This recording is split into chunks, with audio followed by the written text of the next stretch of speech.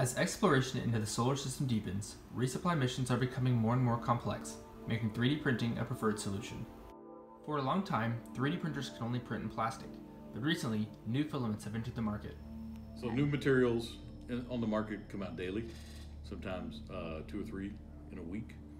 Uh, we first started off with just ABS plastic and only one size, three millimeter.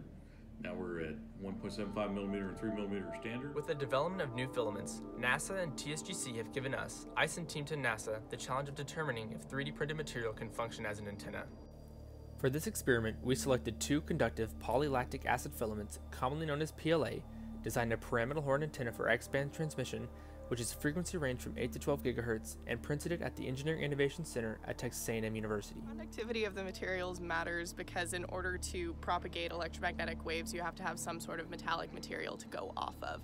Um, so in the case of the horn antenna, you really need to have a conductive material along the walls of it so you can navigate the wave coming from the waveguide. When selecting our two materials, we focused on conductivity. Conductivity is the ability of a body structure to transmit an electric pulse. After searching the web for the most conductive filaments and getting advice from Jim Wilson, we decided on a graphite PLA by Protopasta that has a conductivity of 6.7 Siemens meters, and F electric PLA by Functionalize, which has a conductivity of 133 Siemens meters. When designing the horn antenna, we used SolidWorks. This antenna fits the specifications of the 3D printer on board the International Space Station and would not need a support structure to be printed. To print the antennas, we used the Ultimaker 3, 3D printing works by heating up the material and pushing it down a nozzle in a process called extrusion. The graphite PLA took approximately 5 hours to print, and unfortunately, the F electric filament was too brittle and kept fracturing before entering the printer. It's brittle because it either A absorbs too much water or it has reduced itself, it has water has been taken out of the material over time. The F electric PLA was our preferred material, but due to the time constraint of our projects, we decided to continue testing the graphite PLA. To determine if the antenna could function properly, we conducted an impedance matching test and a radiation pattern.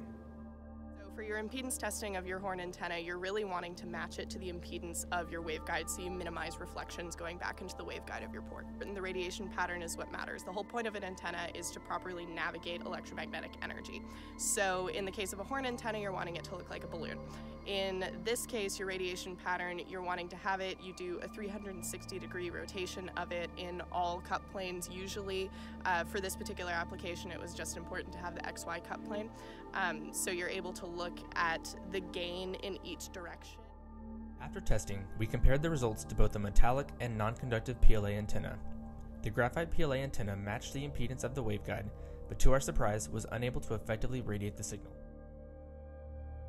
So in the case of this particular horn antenna, um, it is conductive, but not quite conductive enough to actually direct the electromagnetic energy. Um, the horn kind of sucked the energy to the walls of it, and it acted more as a resistor than an actual uh, conductor or propagating antenna.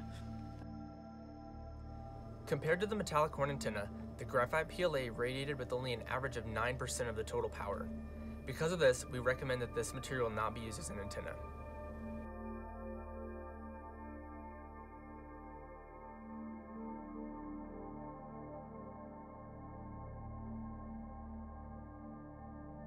We say at A&M, thanks, thanks and gig 'em.